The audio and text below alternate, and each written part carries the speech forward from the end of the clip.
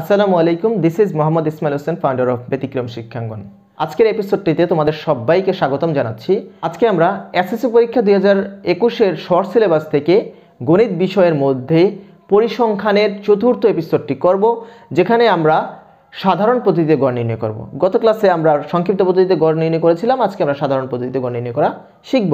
So ক্লাসটি আমরা এখনই শুরু করে দিচ্ছি, তার আগে বলে নেই, যদি তুমি আমার চ্যানেলটিতে নতুন হয়ে থাকো, তাহলে প্লিজ সাবস্ক্রাইব মাই চ্যানেল আর যদি অলরেডি সাবস্ক্রাইব করেই থাকো thank you so much so let's get started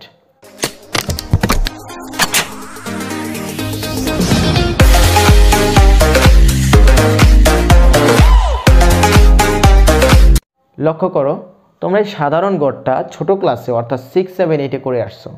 যেখানে তোমাদের সূত্রটা কী ছিল? Summation of F I X I divided by N এই সূত্রটা প্রয়োগ করে তোমরা এখান থেকে গড়টা নির্ণয় করতে পেরেছিলা। সেই ফর্মুলাটাই তোমাদেরকে আজকে আমি রিভাইজের জন্য দেখাচ্ছি। তোমরা সবাই এই নিয়মটা জানো। জাস্ট একটু মাথায় আনার জন্য রিভাইজ করার জন্য আমি আজকে ক্লাসটা দেখাচ্ছি। তাহলে দেখো যে গড়ের জন্য আমাদের কী লাগতেছে এই সাধারণ গড়ে? Summation of F I X I অর্থাৎ এফ আই এর মান লাগবে এক্স আই এর মান লাগবে, যেটার গুণফল সেটাকে যোগ করতে হবে, আর এন এর মান দিয়ে ভাগ করতে হবে। তাহলে আমরা গড়টা পেয়ে যাচ্ছি। এফ আই এর মানে এফ আই হচ্ছে এফ হচ্ছে ফাংশন সেটা হচ্ছে গণসংখ্যা, সেটা আমরা গত ক্লাসে দেখেছি। অ্যান্ড মধ্যমান হচ্ছে এক্স আই আর এই মধ্যমান আর গণসংখ্যাকে গুণ করে আমরা পাবো এফ আই এক্স আই যেটাকে আমরা মধ্যমান দিয়ে গত ক্লাসে আমরা কি করেছিলাম? বিচ্যুতি, অর্থাৎ দাব বিচ্যুতি নির্ণয় করেছিলাম, যেখানে আমাদের ইউআই এর মান ছিল। সেটা আজকে আমাদের দরকার নেই। আমরা just X I F I এর মান বের করব, সেটাকে গুণ করে দিব সামেশনটা নির্ণয় করব, আর এন এর মানটা বের করব। তাহলেই হবে। তাহলে সেজন্য আমরা গড়টা করেছি, দেখো, কি লাগবে আমাদের? এফ আই এক্স আর এন তাহলে একটা হচ্ছে শ্রেণি ব্যক্তি যেটা দেওয়া আছে। মধ্যমান আমাদের নির্ণয় করতে হবে সূত্র প্রয়োগ করার মাধ্যমে। এরপর হচ্ছে গণসংখ্যা। গণসংখ্যাটা আমরা এখানে নির্ণয় করব। তারপর হচ্ছে এফ আই এক্স আই এই দুইটাকে আমরা গুণ করে দিব। তাহলে ওপরের টেবিলে আমরা কি লিখেছি? যেহেতু এখানে বলেছি একটা ডেটা দেওয়া থাকবে, যে ডেটার মধ্যে তোমাদের কোনো একটা বয়স থাকতে পারে, কোনো মার্কস থাকতে পারে, প্রাপ্ত নম্বর থাকতে পারে, বা একটা অনুপাত থাকতে পারে, সংখ্যা থাকতে পারে। সেই ডেটা থেকে তোমাদেরকে বলবে যে সাধারণ পদ্ধতিতে গড় নির্ণয় করো, অথবা সাধারণ গড় নির্ণয় করো। উপযুক্ত তথ্যের আলোকে সাধারণ গড় নির্ণয় করো। তাহলে আমরা লিখব কি? সমাধান দিয়ে, এখানে দেখো আমি সমাধান আগেই লিখে রেখেছি, আমাদের সময় বাঁচানোর জন্য। যে উপযুক্ত তথ্যের ভিত্তিতে সাধারণ গড় নির্ণয় করা হলো বা উপযুক্ত তথ্যের ভিত্তিতে সাধারণ পদ্ধতিতে গড় নির্ণয় করা হলো।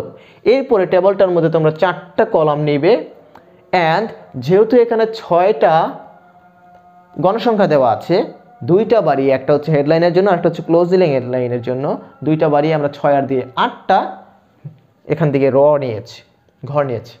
আটটার মধ্যে আমরা মানগুলো বসিয়ে দিই টোয়েন্টি ওয়ান থেকে থার্টি থার্টি ওয়ান থেকে ফোরটি ফোরটি ওয়ান থেকে ফিফটি ফিফটি ওয়ান থেকে সিক্সটি সিক্সটি ওয়ান থেকে সেভেন্টি সেভেন্টি ওয়ান থেকে এইটি তো মধ্যমানটা নির্ণয়ের আগেই আমরা এই গণসংখ্যার মানটা বসিয়ে দিই, চলো।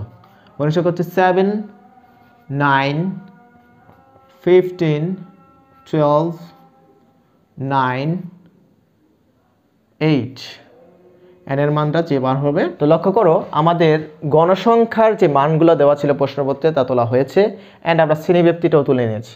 এবার আমাদের শ্রেণীব্যক্তি থেকে মধ্যমানটা নির্ণয় করতে হবে।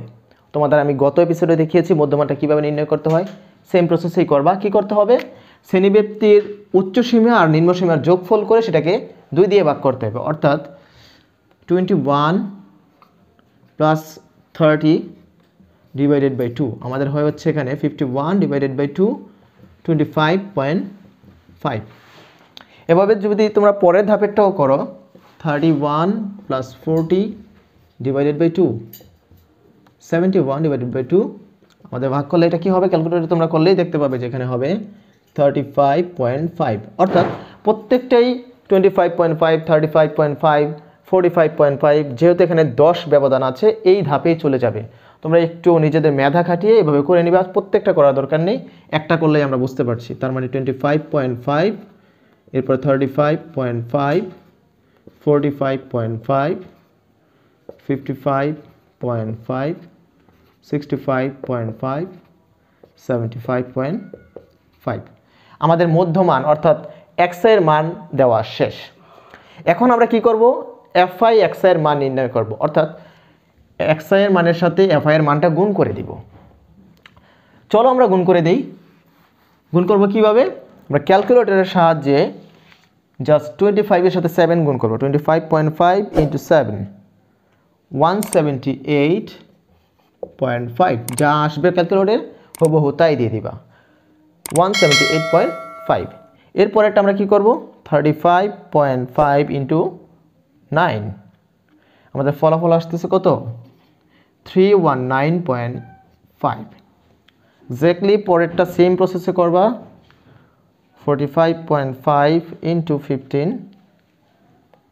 six eight two point five এরপরটা হচ্ছে কি fifty five point five into twelve আমাদের হচ্ছে কত?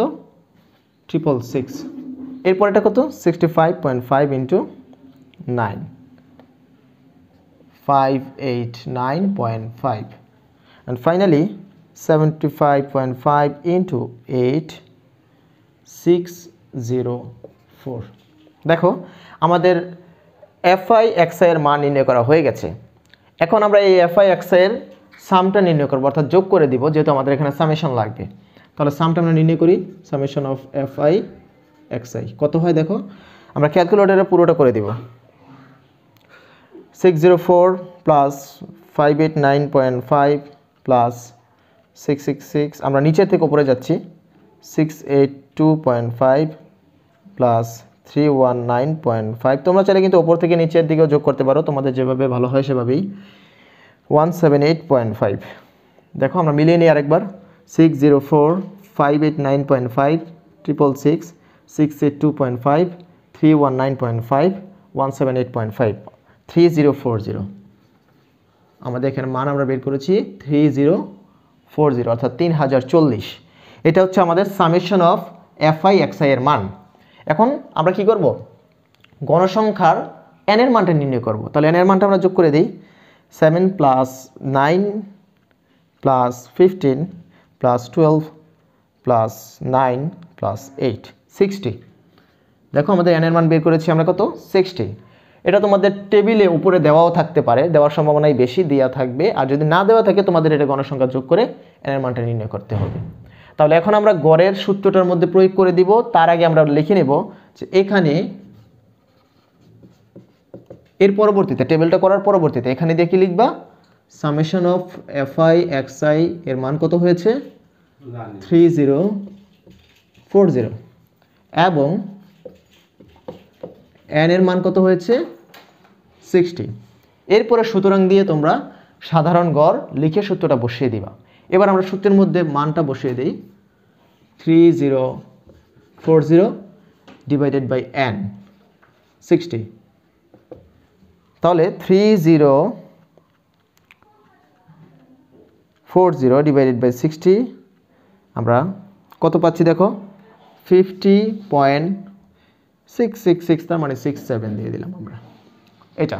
অর্থাৎ আমাদের সাধারণ পদ্ধতিতে গড় নির্ণয় করা আমরা কমপ্লিট করেছি।